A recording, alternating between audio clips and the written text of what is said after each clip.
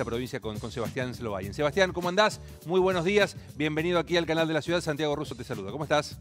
Hola Santiago, muy buenos días. Muchas gracias por el contacto. Un placer estar conversando con vos y con toda la gente, con toda la audiencia ahí del canal de la ciudad. Bueno, Sebastián, lo primero que quiero preguntarte es, eh, más allá de, la riqueza de la, de la provincia de, Corrientes, es cuáles son los puntos turísticos que suele vender, promocionar la, la provincia para el veraneante. Bueno, la verdad que Corrientes tiene una oferta muy variada de, productos turísticos, pero te puedo hacer un raconto rápido que seguramente le va a resultar muy interesante a toda la gente de Ciudad de Buenos Aires. Primero lo que tiene Corrientes es muchísima naturaleza, donde se destaca particularmente todo lo que son nuestros teros de Iberá, eh, con más de 10 portales y con una oferta de fauna y flora única en la Argentina y te diría en el mundo también que realmente a todo el que es amante de la tranquilidad y la naturaleza les encanta. También tenemos una propuesta cultural muy interesante donde Corrientes es la capital mundial del chamamé, donde el chamamé representa un patrimonio inmaterial de la humanidad definido por parte de UNESCO y estamos justamente en el mes de enero teniendo nuestra fiesta nacional del chamamé a partir del 14 de enero hasta el 23, que es una fiesta única y realmente muy interesante para disfrutarla. También tenemos muy fuertemente posicionados lo que son los destinos de playa. Con Corrientes tiene casi 800 kilómetros de río Paraná, localidades de playa increíbles como la que están pasando ahí en las imágenes, que es Corrientes Capital, con la temporada de playa más larga del país, que arranca de octubre hasta el mes de abril. Eh, también tenemos muchísima playa en Ituzaingó, Paso de la Patria, Empedrado, Bellavista, Esquina con lo cual una oferta muy variada de playa. Así también lo que es la oferta muy interesante de lo que es pesca deportiva con devolución.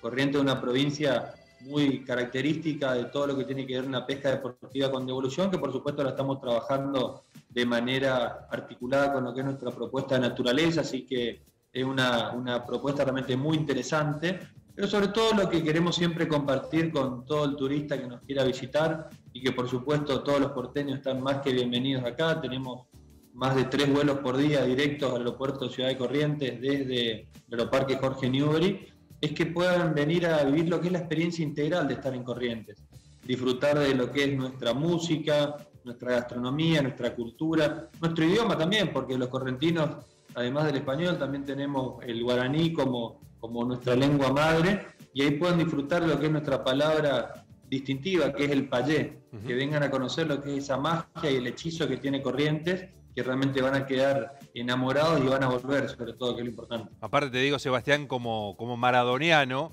eh, allí empezó todo, eh, porque Chitoro, el don Diego, era correntino, el papá de Diego.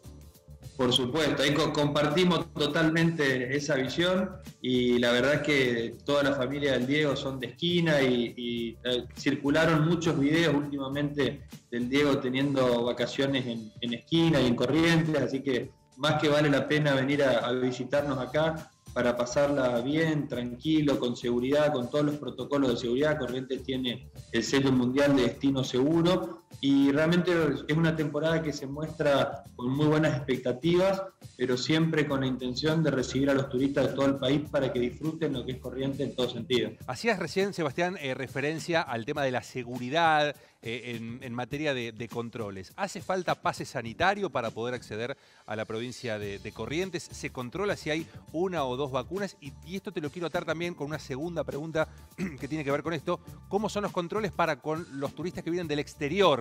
De lugares cercanos como pueden ser Brasil, eh, Uruguay o Paraguay. Con todo lo que tiene que ver con el turismo nacional, Corrientes fue la primera provincia en abrir los límites provinciales para comenzar a recibir turistas de todo el país, lo cual nos fue dando muchísima experiencia y entrenamiento al respecto.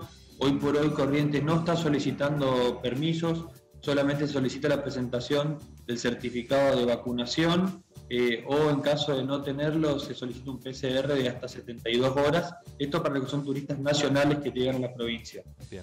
En el caso de eventos masivos, si bien se va analizando, como está ocurriendo hoy por hoy en todo el mundo, día a día cómo es la evolución de, de esta nueva etapa de la pandemia, están confirmados dos de los eventos más importantes que realiza nuestra provincia, como son el chamamé en enero y los carnavales, con Corrientes como capital nacional del carnaval, durante todos los fines de semana de febrero y ahí sí se estará solicitando un pase sanitario que consiste justamente en la certificación de contar con el esquema completo de dos dosis de vacunas.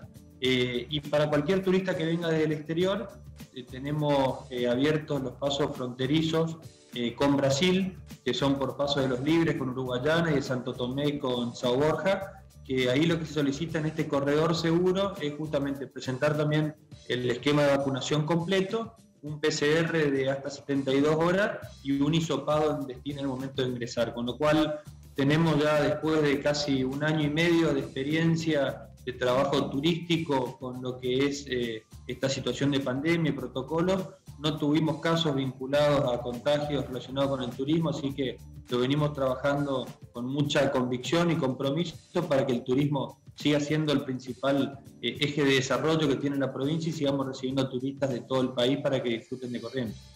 Eh, Sebastián, eh, por último, ¿cómo están en materia de capacidad hotelera y de ocupación hasta el momento? Porque sabemos que bueno, mucha gente por ahí puede definir a último momento. Charlábamos que ahora ha cambiado un poco la configuración del tiempo que uno veranea, por eso en escapaditas, de un fin de semana, de 3, 4, 5 días en materia de, reserva hotelera, ¿cómo están para los que todavía no han definido dónde ir? Bueno, la provincia está con, una muy buena, eh, muy buenos números de ocupación. Se fueron dando a lo largo de, toda esta última etapa del año, donde hubo una ocupación casi plena de todos los destinos turísticos, como les decía recién, todos los de Iberá, todos los de playa, pesca y río, Corrientes Capital también. Pero todavía, por supuesto, siguen quedando espacios para poder venir a visitarnos. Eh, es importante sí ir sacando las reservas con antelación porque hay unas localidades que ya tienen casi todo vendido para los meses de enero y febrero, pero a través de la página corrientes.tour.ar se puede ingresar a, a, ver información de la provincia, hay distintas promociones, hay mucho material para que puedan ir iniciando el viaje de manera virtual ya, pero por supuesto esperándolos acá para que de forma presencial puedan venir a disfrutar de, un espectro muy amplio de servicios. Tenemos hoteles para todos los tipos de presupuestos, servicios complementarios de excursiones, actividades para poder disfrutar durante varios días y también un punto que es interesante es que tenemos muchas localidades que están cercanas para poder dar productos complementarios. Por ejemplo, quien viene a Corrientes Capital tiene una agenda nocturna, gastronómica y cultural muy cargada, pero también la puede complementar con visita a otras localidades históricas cercanas como son Santa Ana, Cacatí, San Cosme, o también localidades que tienen mucha vinculación con el río La Pesca como Paso de la Patria o Empedrado que están cerca, o inclusive Itatí, que es una de las localidades con mayor turismo religioso del país. Así que las opciones son amplias y los esperamos con los brazos abiertos para que disfruten de la calidez correntina, de nuestra gastronomía, de nuestra música y sobre todo lo que es la experiencia de estar visitando el Tarahui correntino. Me tocaste una fibra íntima cuando hablaste de gastronomía. A ver, cierro un segundo los ojos. Planteame cómo es la mesa típica correntina, qué me pones en el plato, con qué lo riego todo eso para atentar a la gente que está del otro lado. Mira, te la puedo hacer bastante amplia. Ahí claramente tendría que estar iniciando la comida con unos chipá oh. en cualquiera de sus distintas variantes. Mm. Después puede comer un chipá guazú, que es como una tarta con maíz. Eh, después hay unas especies de, guisos que son muy interesantes, se llaman baipú, que es como una polenta realmente riquísima. Y esto complementado con, con un chicharrón correntino, que es una comida que tiene inclusive su fiesta del chicharrón en Corrientes. Y después también complementado todo con con muy buen asado de, carne correntina, de cordero mesopotámico también. También se puede disfrutar de, muy ricos pescados de criadero, porque todo lo que es extracción se está haciendo con devolución.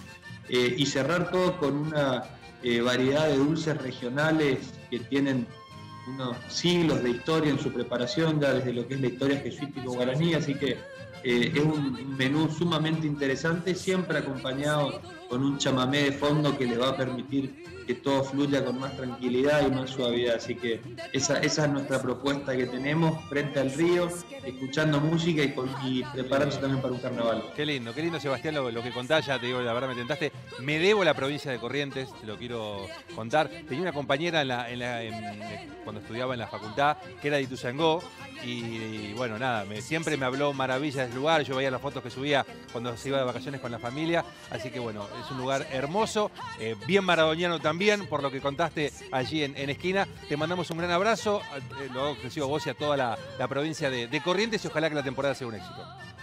Muchísimas gracias a vos, Santiago, un placer. Te esperamos entonces por acá que venga a cumplir con el compromiso con tu compañera en Ituzaingó y en todas las otras localidades y por supuesto a todos los porteños más que invitados acá la van a pasar de primera y van a tener un verano excelente. Fuerte abrazo. Fuerte abrazo, que cierres bien el año. Bueno, Sebastián Loayen